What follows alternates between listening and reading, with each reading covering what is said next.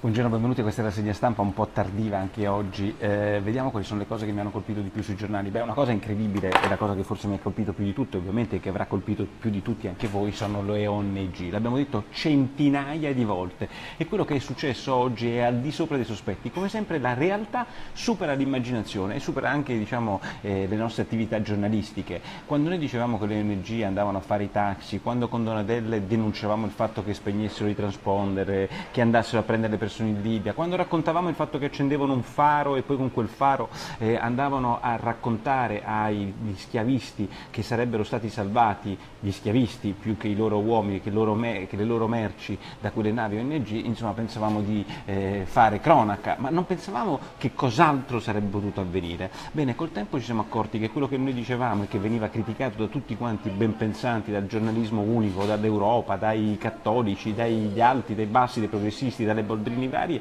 beh, insomma si è verificato. Abbiamo scoperto che anche la sinistra ha chiesto un codice di autoregolamentazione delle ONG e oggi sui giornali, su tutti i giornali, scopriamo che la Procura di Trapani va a sequestrare una nave eh, tedesca, Juventa, che nella prua di questa nave aveva scritto FAC Roma, cioè questa è fatta da dei ragazzi, secondo me no global, ma poi ve lo, ve lo sottoscrivo, me li vedo già sti global, che ci vengono a spiegare come si deve fare l'immigrazione in Europa e ci portano a noi noi i loro migranti. Nelle intercettazioni telefoniche citate dai giornali oggi, questi ragazzi dicevano, ragazzi, questi delinquenti, questi eh, conniventi all'immigrazione, ai trafficanti di uomini, vediamo se verranno condannati, ma già le... Ehm, il senso diciamo, di trovarsi una barca in cui c'è scritto FAC Roma è una cosa che mi fa venire il sangue il cervello, al cervello. Certo che Di Maio aveva ragione, l'abbiamo detto molto prima di Di Maio, se permette il nostro eh, amico eh, del Movimento 5 Stelle, l'abbiamo detto noi che non siamo politici ma che facciamo il nostro mestiere di giornalisti. Ma su questa nave in cui c'è scritto FAC Roma eh, eh, c'era scritto, eh, nelle intercettazioni di questi qua, c'era praticamente il, il, contatto diretto con gli schiavisti e il loro eh, diciamo, rapporto diciamo, di connivenza, eh, insomma questa bomba umana contro, eh, contro, il, contro, l'Italia in sostanza, che era il paese dove approdavano queste persone. Queste ONG, tra l'altro, 7 su 10, tra cui i fenomeni di Medicine Senza Frontiere, non hanno fermato un codice di autoregolamentazione che tra le altre cose chiede che ci sia un poliziotto o una persona della polizia giudiziaria a bordo, che non mi sembra una cosa incredibile in un paese civile, non mi sembra una cosa incredibile se si ha a che fare con dei reati commessi in mare come il traffico degli uomini che non mi sembra che sia uno dei traffici, non so, come spacciare un... Um, un cannino, sarà un po' diverso eh, portare degli uomini e fargli rischiare la morte e, e, e non militarizzare appunto come si dovrebbe quell'area. Vabbè. Eh, l'altra cosa che mi diverte è che su questa polemica oggi l'avvenire, il giornale eh, incredibile, incredibile eh, dei vescovi italiani, titola senza rendersi conto del scarso sprezzo del ridicolo, eh, reato umanitario, cioè il fatto di aver sequestrato una nave eh, ONG con scritto avanti FAC Roma con delle prove secondo le intercettazioni che devono essere verificate e vagliate da un tribunale, questo è fuori di dubbio, ci vuole una sentenza, ci vogliono, ma, eh, ovviamente eh, voglio dire, eh, sono tutte cose che si devono dimostrare, ma insomma il reato umanitario non è il reato sul quale queste persone sono eh, indagate. Il reato è il traffico di uomini, di schiavi, va bene? E poi c'è un altro piccolo problema che bisognerebbe spiegare agli amici di avvenire, che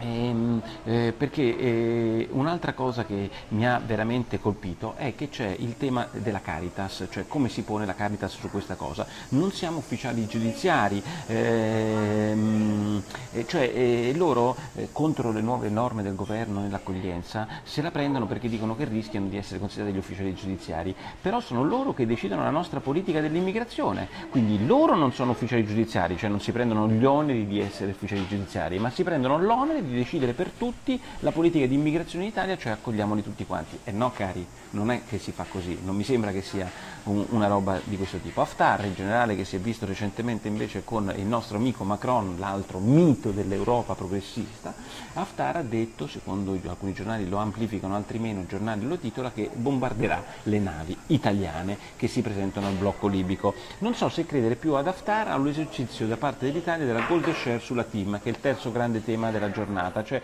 quello che il ministro Calenda dice non essere assolutamente una ripercussione su Ficcantieri, ma è un bel segnaletto che si dà ai francesi, guardate che se scherzate con le cose nostre eh, in Francia, noi scherziamo con le vostre in Italia. Vi dico subito come la penso su questa cosa, posto che io penso che Calenda sia un grandissimo ministro e che sia un'ottima persona al posto giusto, eh, il rincorrersi di operazioni protezionistiche sulle ehm, aziende private è un rischio enorme. Lo so che siamo incazzati con i francesi, lo so che mi stanno antipatici i francesi, lo so che Macron, figuratevi, siamo stati noi i primi a parlarne diciamo, in termini non elogiativi, ma l'idea di riuscire a pensare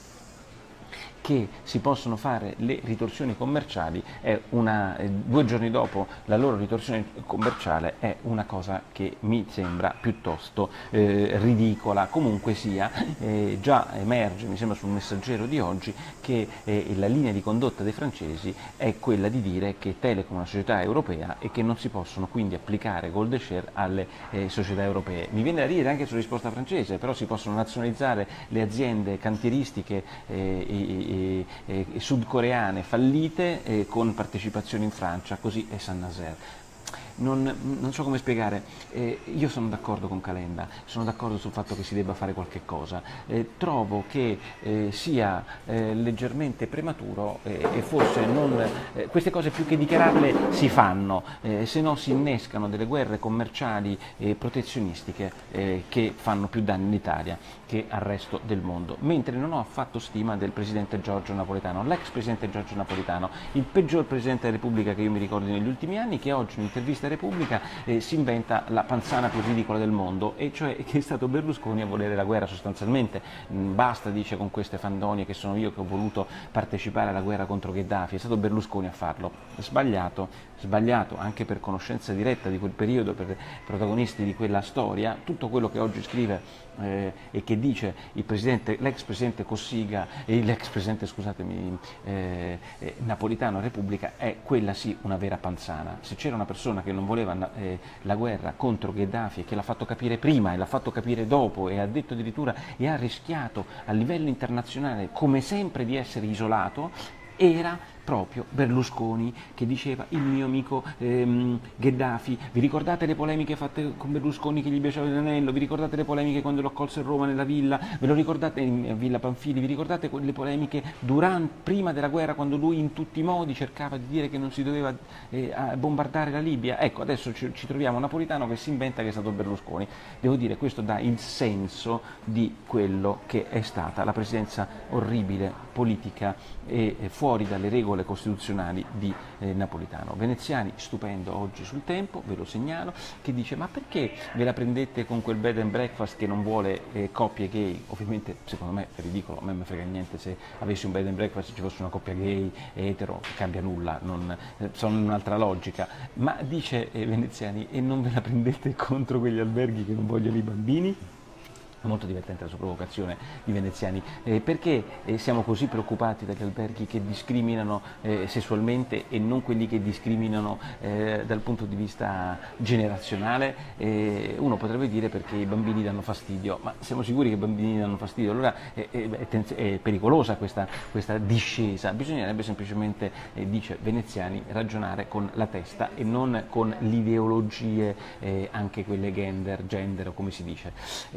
Um, ultima cosa stupenda che ho letto oggi sul blog di eh, Riccardo Ruggeri, che voi sapete seguo con attenzione, beh, è la polemica tra Zuckerberg, l'uomo di Facebook, e eh, Musk, l'uomo Musk, come si chiama, l'uomo della Tesla. Eh, un altro flop, dice Ruggeri, che ce ne accorgeremo, cioè perché per fare le auto elettriche bisogna consumare energia e l'energia bisogna produrla e per produrre l'energia ci vogliono centrali, le centrali sono ancora fossili e vabbè, insomma tutta la teoria che io condivido al 100%. Ma la cosa stupenda è la battuta finale perché stanno litigando Tusk e e, e Zuckerberg su una cosa che è fondamentale, molto più di team, molto più dei cantieri, molto più purtroppo degli alberghi che accolgono o meno i gay e i bambini in Italia, e cioè cosa diventerà l'intelligenza artificiale, se sarà la fine dell'umanità, come dice Musk, o se potrà essere un miglioramento dell'umanità, come dice Zuckerberg. Ricordatevi che l'intelligenza artificiale è una cosa che già esiste, quando voi col vostro cellulare spingete il bottone e chiedete di fare qualcosa al vostro cellulare, dite che tempo fa domani, beh quella diciamo è una forma molto banale di intelligenza artificiale. In prospettiva l'intelligenza artificiale è quella che farà sì che io parlo italiano e venga tradotto in tutte quante le lingue quello che faccio, che pre, mh, prevederà i miei gusti, prevederà le mie, eh, le mie esigenze, saprà rispondere alle mie domande, cioè una rete che risponde alle mie esigenze prima che ancora che quasi gliele possa chiedere. Diciamo, semplifico e non vi arrabbiate. Sì, Alessandro, una sorta di Siri evoluto, ecco, che tra l'altro impara dalle domande che gli ho fatto. Beh, dice Zuckerberg ovviamente pro domo sua che questo non sarà la fine del mondo, mentre Musk dice che sarà la fine del mondo. Il tema è affascinantissimo, ma come lo pongono loro, dice Ruggeri, è incredibilmente presuntuoso. E la battuta di Ruggeri, secondo me, è fenomenale per le felpe della California, attente a Mm, eh, sicuramente on the edge of technology, sicuramente avantissimo sulla tecnologia e che però si sentono dei padri eterni e dice mm, tranquilli, Dio c'è, ma non siete voi, rilassatevi. Questa è la battuta finale e fenomenale di Riccardo Reggiori con la quale vi saluto e vi do appuntamento domani. Ciao!